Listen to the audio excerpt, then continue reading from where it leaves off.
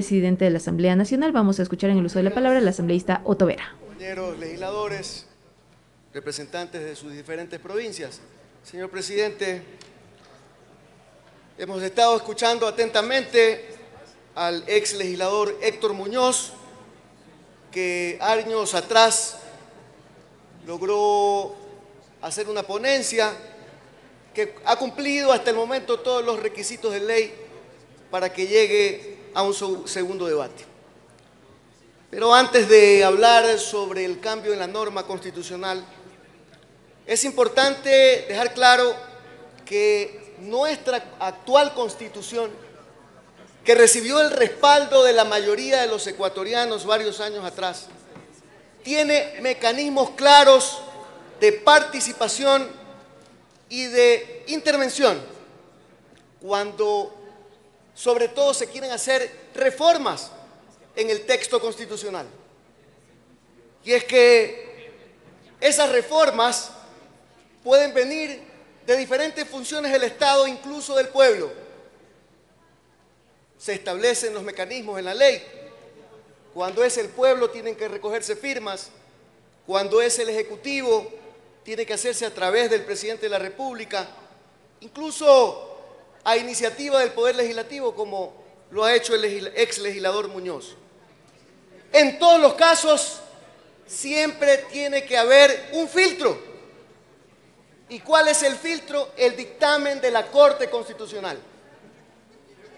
El legislador Muñoz presentó el proyecto, pasó por el CAL y fue enviado por el presidente de la Asamblea a la Corte Constitucional. Luego de varios meses, y de un análisis profundo de constitucionalidad, la Corte determinó el camino y dictaminó la forma en la que se debía reformar la Constitución. Y ese mecanismo es en base a una enmienda, enmienda que debe ser y debió y ha sido tramitada y sustanciada aquí en el seno de la función legislativa. ¿Cuál es el cambio que solicitan varios legisladores que firmaron esta propuesta? Reformar el artículo 138 de nuestra Carta Magna, que permita que la función legislativa, cuando quiera ratificarse en el texto de una ley aprobada, que ha sido vetada por el Ejecutivo, esa ratificación sea solo con la mayoría de 70 votos y no con los 92 que establece la actual Constitución. Es verdad que la Constitución ya establece el mecanismo, 92 votos, para poder ratificarnos en el texto. Pero asimismo, el pueblo ecuatoriano en la misma Constitución estableció los mecanismos para que a iniciativa del legislativo también se puedan reformar. Y es que esto no es cuestión de quitarle el poder a una u otra función del Estado, porque eso es lo que se está rumorando, no solo en los medios de comunicación, sino también aquí al interno del hemiciclo. Y es que esto no se trata de una pugna de poderes entre el Ejecutivo y el Legislativo.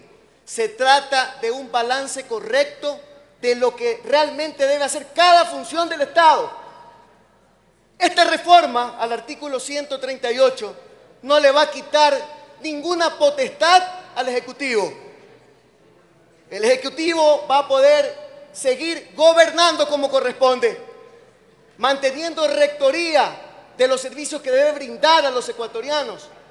Va a administrar como corresponde el presupuesto general del Estado, distribuirlo a través de los diferentes mecanismos y desde luego a través de los diferentes ministerios, llegando al pueblo ecuatoriano con mejores servicios, con servicios de calidad. Eso lo va a poder seguir haciendo la función ejecutiva. Y también va a poder seguir participando dentro del proceso parlamentario. Porque no se le quita la iniciativa de que presente proyectos de ley cuando son proyectos en materia económica urgente, va a poder seguir presentando los proyectos de ley y va a poder seguir teniendo la potestad para objetar cuando no esté de acuerdo en algo. Y cuando no está de acuerdo en nada, va a tener la posibilidad de una objeción total.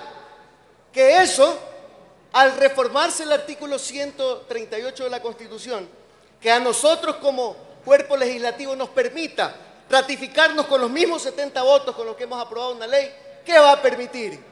Abrir las puertas para que exista el diálogo que en ocasiones se pierde y que haya abuso de una u otra función del Estado. Porque nosotros como legisladores, cuando aprobemos una ley con 70 votos, no vamos a querer que el presidente la vete totalmente, porque va a perder el pueblo ecuatoriano. Entonces nosotros como legisladores vamos a tener la obligación de tener que acordar, de llegar a, llegar a acuerdos y consensos con el Ejecutivo. Y el Ejecutivo de la misma manera. Cuando quiere que se apruebe un proyecto de ley, sabiendo que tiene dos herramientas, una objeción parcial y la otra total, va a tener que sentarse a conversar con la función legislativa. Yo creo que esto más bien abre las puertas a que exista la gobernabilidad que nosotros hemos estado buscando. Desde el inicio en este periodo legislativo siempre hemos extendido la mano. Y eso que tenemos que ser realistas, que cada uno tiene una visión diferente seguramente de cómo gobernar. Muchos tenemos nuestros conceptos, ideologías, pero la ideología no ha estado por sobre las verdaderas necesidades que tiene el pueblo ecuatoriano. Y eso yo debo felicitarlo en ustedes, compañeros legisladores. Lo he dicho siempre, desde que hemos estado aquí exponiendo. Esta Asamblea Nacional ha inaugurado ya la sensatez, porque sin importar los intereses partidistas, cuando hemos tenido que llegar a consenso lo hemos hecho. ¿Y quién dice que no se ha apoyado el Ejecutivo aquí? Sin importar quién fuese. Mañana puede ser o seguir siendo el presidente Novoa o quien sea. Siempre apoyando la gestión del gobierno de turno. Pero yo creo que es importante que exista el balance que hace un momento comentó el ex legislador Muñoz. Y es que podemos acudir, como dicen los expertos en materia legal y constitucional, al derecho comparado. No, es que en Colombia, Perú, Puerto Rico, hay mecanismos similares de colegislación como el que se está proponiendo hoy. Aprobar leyes y cuando se veta, ratificarse en el texto original con una mayoría absoluta, 70 votos en nuestro caso. Y alguien podría decir, bueno, analicemos qué pasa en esos países. Bueno, analicémoslo económicamente, pues. Vean el PIB per cápita de esos países que tienen mecanismos de colegislación similares a nosotros. Y están mucho mejor que nosotros. Pero esa no es una forma correcta de medir, porque esto es un procedimiento parlamentario.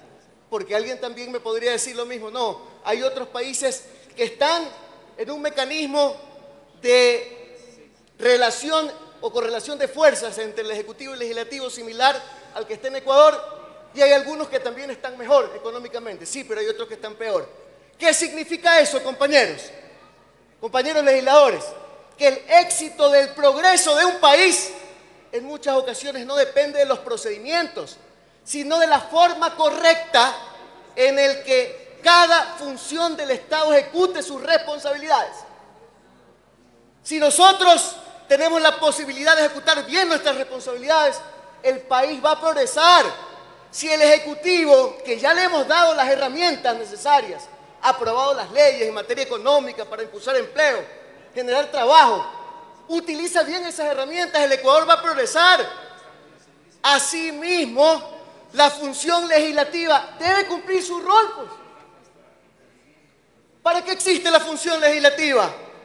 Que dicho sea de paso, en la misma constitución es la primera función del Estado que aparece. ¿Por qué?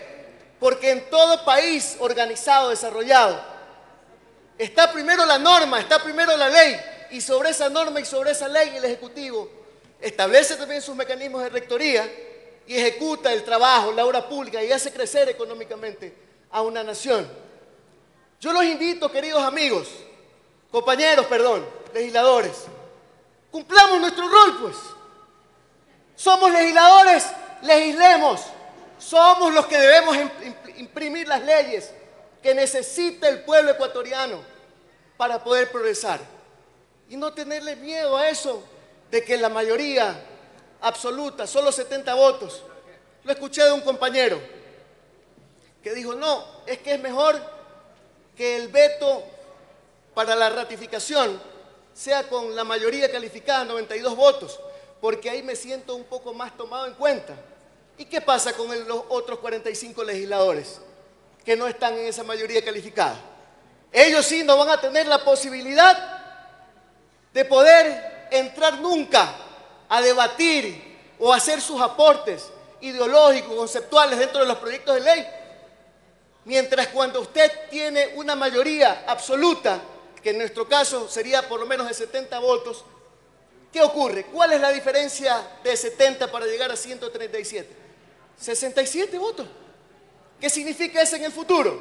Que se abre la posibilidad a que los 67 legisladores que no estuvieron de acuerdo, quizá con un proyecto de ley, si el otro modelo fracasa, van a tener la posibilidad de en algún momento dado poder tener los 70 votos, pues.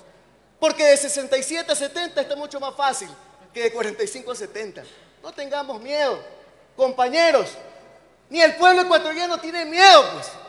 Cuando vamos a las urnas, ¿qué ocurre con el pueblo ecuatoriano? No elegimos con la mitad más uno de los sufragantes para elegir en segunda vuelta a un gobernante. Cuando vamos a las urnas, a un referéndum, no necesitamos la mitad más uno de los votos del pueblo ecuatoriano. Eso es democracia, pues, compañeros. Que en algún momento dado, quien tenga la mayoría tenga la posibilidad de gobernar, pero los que no pudieron gobernar antes tengan la posibilidad de en algún momento dado también volver a gobernar. Eso es democracia compañeros legisladores. Los invito a ser parte de este cambio que necesita nuestra legislatura, que necesita la estructura, perdón, que necesita el Estado como tal para que tengamos nosotros una mejor actuación. Yo quiero cumplir mi rol, yo quiero hacer un buen trabajo como legislador.